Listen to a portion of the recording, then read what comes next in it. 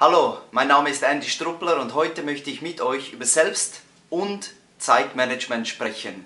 Da gibt es viele Visionen, Versionen, wie man das machen könnte. Jedoch ist allen klar, wir müssen was tun, denn wir haben limitierte Zeit und diese Zeit wollen wir so gut wie möglich einsetzen. Ich bin hier in meinem Homeoffice und hier habe ich etwas, das mich immer wieder erinnert, dass die Zeit kurz ist. Und zwar habe ich hier in Büro bei mir immer diesen Schädel, der mich immer wieder daran erinnert, die Zeit ist kurz. Irgendwann werde ich weg sein, wird alles vorbei sein und alles, was mir geblieben ist, ist die Zeit, die ich zur Verfügung gehabt habe und wie ich sie eingesetzt habe. Dieses Bild erinnert mich immer wieder, es ist entscheidend, wie ich meine Zeit manage, weil das ist mein größtes Gut. Die Zeit, die ich habe, ist in meiner Verantwortung.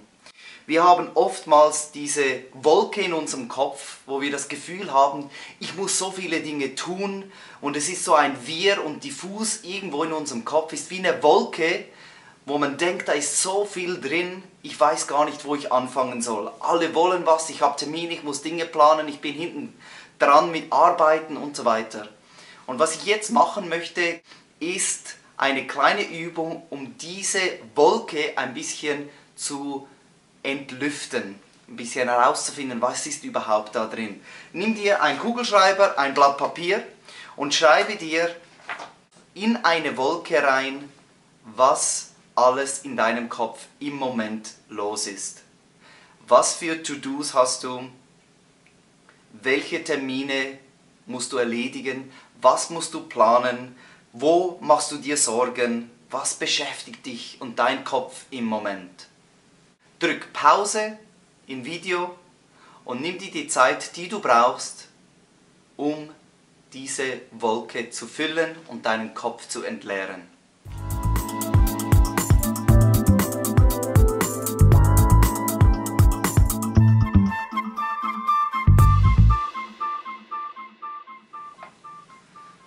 Jetzt hast du alle diese Dinge aufgeschrieben in deine Wolke rein. Was du jetzt tust, ist, Du kreist die Dinge ein, die du ändern kannst, die du bestimmen kannst. Und dann streiche alle diese Dinge durch, die du nicht ändern kannst, auf die du keinen Einfluss hast, die nur Sorgen sind, aber die du nicht ändern kannst. Die Bibel sagt im Epheser 5, achtet also genau darauf, wie ihr lebt. In diesem Kontext ist immer der Punkt, die Zeit ist kurz, du hast ein Leben, setze es sinnvoll ein, nutze die Zeit, die dir zur Verfügung steht. Die Frage ist immer, wie nutze ich meine Zeit am sinnvollsten? Und da würde ich das erste Schlagwort bringen, Prioritäten. Was hat Priorität gegenüber anderen Dingen. Und das kann von Person zu Person unterschiedlich sein. Was ist mir wichtig? Ich sage zum Beispiel, Sport ist mir wichtig. Jedoch, wenn ich meinen Tagesablauf, meine Woche anschaue, ist oftmals keine Zeit für Sport. Und dann die einfache Ausrede, die ich oft benutzt habe, aber die auch immer wieder von anderen höre, ist, ja, es ist mir wichtig, aber ich habe die Zeit nicht dafür. Du hast Zeit, für alles, was dir wichtig ist. Die Frage ist nur, sagst du nur, es ist dir wichtig oder nimmst du dir Zeit, weil es wichtig ist? Sport ist mir wichtig, aber ich könnte jeden Morgen um 6 Uhr aufstehen und eine halbe Stunde joggen gehen. Es ist meine Zeit und meine Priorität für den Schlaf ist im Moment sehr viel aktueller oder sehr viel höher als meine Priorität vom Sport. Und nur ich kann es ändern. Das nächste Tool, das wir zusammen anschauen wollen, ist das Eisenhower-Prinzip. Der amerikanische Präsident Eisenhower hat gesagt, 80% vom Erfolg kommt von 20% der Dinge, die ich tue. In anderen Worten, wenn ich mir überlege, was sind die wichtigen Sachen, die auch sinnvoll sind, die auch ein großes Resultat geben, dann muss ich diese Dinge tun. So, jetzt zeige ich euch das Eisenhower-Diagramm. Am besten macht ihr ein Rechteck, das ungefähr so aussieht, mit vier gleichen Quadraten. Dann schreibt ihr hier dringend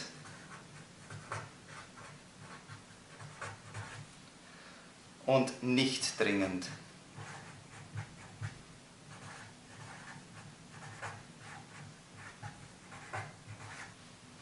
Auf diese Seite kommt wichtig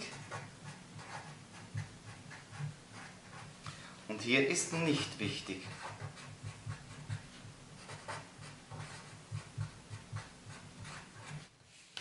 Wenn ihr das hier so seht, dann seht ihr hier die dringenden und wichtigen.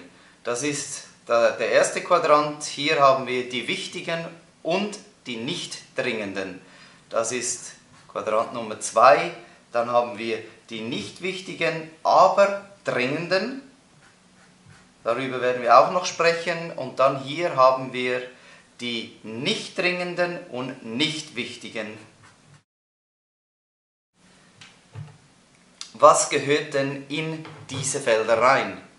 Zum Beispiel wichtige und dringende in diesem, das, kann, das sind meistens Probleme oder Krisen oder Brände, die es gilt zu löschen. Das sind auch Deadlines.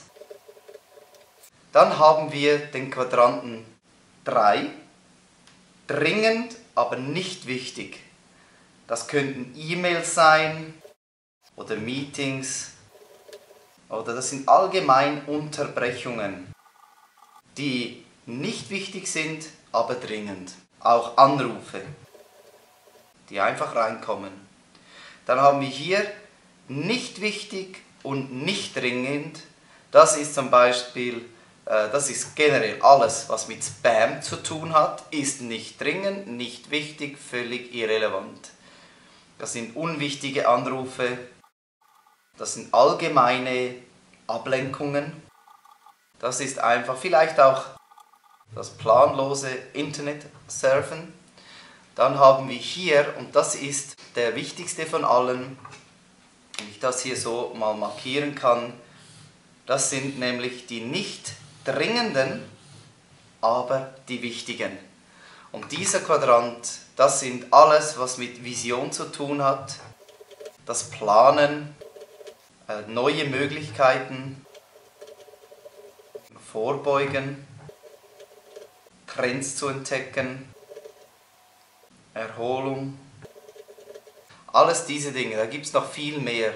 Auch Beziehungen, alles was mit Beziehungen zu tun hat, ist hier in diesem Feld. Die sind nicht dringend, aber sie sind sehr wichtig.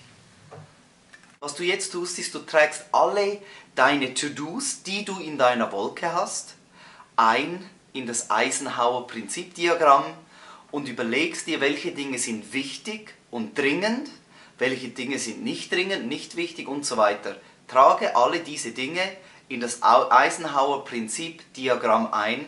Nimm dir diese Zeit, die du brauchst, drück jetzt auf Pause.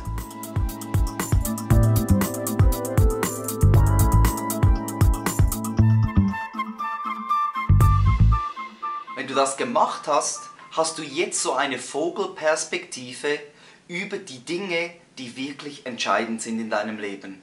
Eben wo, sich, wo es sich lohnt, Zeit zu investieren. Das nächste, was ich anschauen möchte, ist das Ganze mit unserem multimedialen Multitasking-Lifestyle. Überall klingelt überall geht ein E-Mail rein, Instant Messaging, äh, ständig Notifications. Zum Beispiel kommt ein E-Mail rein und bevor ich die anderen, die noch zu bearbeiten sind, bearbeitet habe, sehe ich schon, klang, da kommt ein neues E-Mail rein. Und es nimmt meine gesamte Aufmerksamkeit.